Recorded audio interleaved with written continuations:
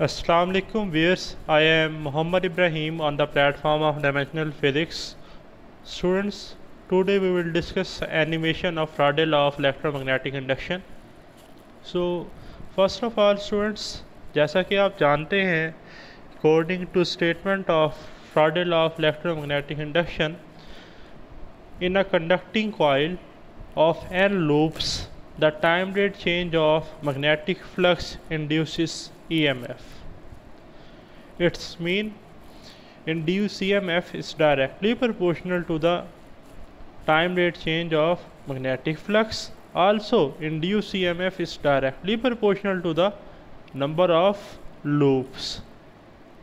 So so, students ये आपके सामने एक पेटा सा छोटा सा तो आप देख रहे हैं कि कुछ कॉइल्स हैं जिनके साथ एक सोर्स लगा हुआ और आपके सामने ऊपर वोल्टेज के लिए वोल्ट मीटर है और आप देखें कि ये हमारे पास एक बार मैग्नेट है।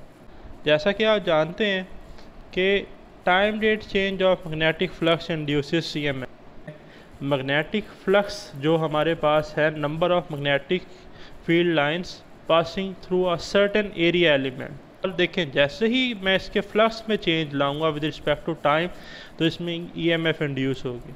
देखें, इस मैग्नेट को मैंने towards the coil move किया तो इसमें आप देख रहे हैं कि जैसे ही मैं मैग्नेटिक फ्लक्स चेंज कर रहा हूँ स्टूडेंट्स तो आप देख रहे हैं कि induce C M F produce हो रही है। तो it's means time rate change of magnetic flux induces E M F जितना ज़्यादा इसमें चेंज आएगा, उतनी ज़्यादा आप देख रहे हैं इसमें इंड्यूस एफ़ प्रोड्यूस होगी। सेकेंड स्टूडेंट्स अब आपके सामने देखें, दो कॉइल्स हैं। एक में नंबर ऑफ़ लूप्स हमारे पास कम है, जबकि एक में ज़्यादा है। तो फ़र्स्ट केस में हमने ये देखा कि जैसे ही हमने time rate of change of magnetic flux ज़्यादा किया इंड्यूस ई ज़्यादा प्रोड्यूस हुई। सेकेंड केस में आप देखें कि अब हमारे पास नंबर ऑफ़ लूप्स है। तो देखें नंबर ऑफ़ लूप्स कम होंगी तो इंड्यूस ई कम होगी नंबर ऑफ़ लूप्स ज़्यादा होगी तो इंड्यूस ईएमएफ भी ज़्यादा होगी। तो देखें नंबर ऑफ़ लूप्स कम है। आप देख रहे हैं कि बल्ब कम क्लो कर रहा है काफ़ी।